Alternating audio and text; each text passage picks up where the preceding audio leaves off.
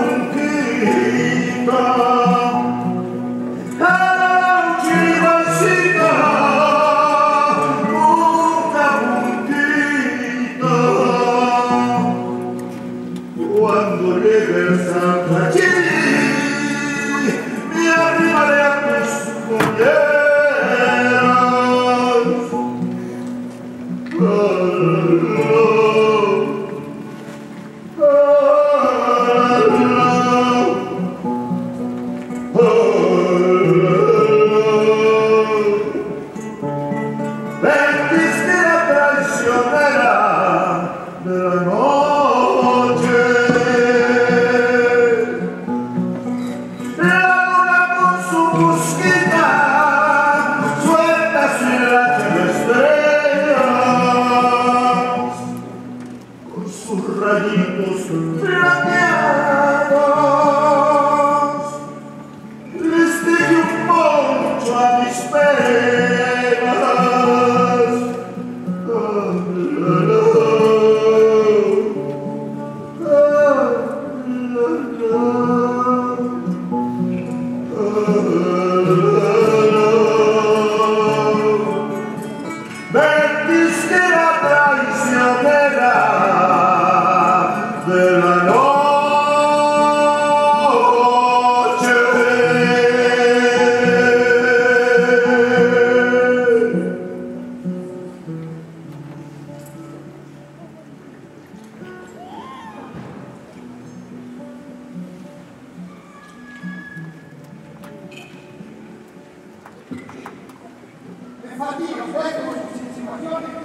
Yo lo maté a Panamá.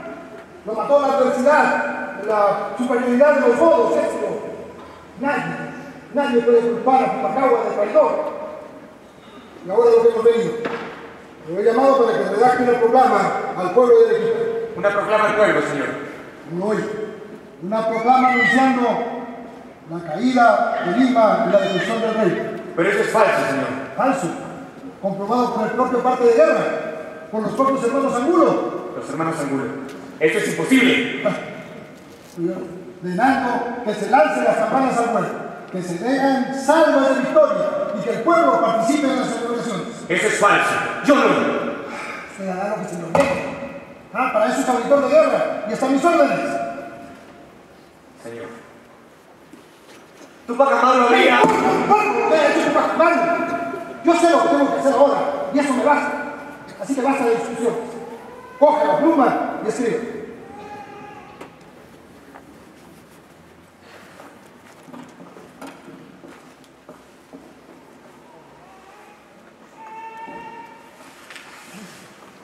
Apo. A 30 días del mes de noviembre de 1814. A los ciudadanos del equipo. Bueno, usted es medio doctor, letrado, poeta, así que redacte la programa y no se haga más felices. No se puede redactar lo que no se siente, señor. Esas son majaderías de poeta, señorito Mergal, no de un guerrero.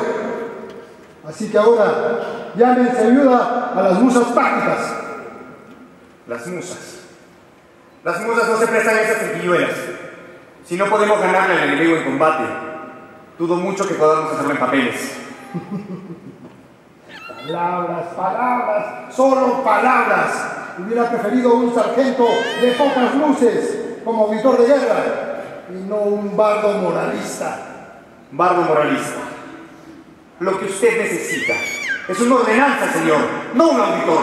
Y lo que usted necesita es discreción y experiencia. Lo que necesitamos es unirnos a nuestros hermanos seguros para crear las bases intelectuales, morales, filosóficas para una nueva revolución. Ja, ahora resulta que el curita me va a dar clases en el campo de batalla. No es eso, señor Macao. Solo quiero ser útil en esta causa. Pues que así sea. Así que redacte la proclama y vaya con su trabajo de auditor respeto. No. Con su permiso, señor. Quiero formar parte de la artillería. Artillería dijo. Como lo escuchó, señor. Está bien. Vaya, vaya.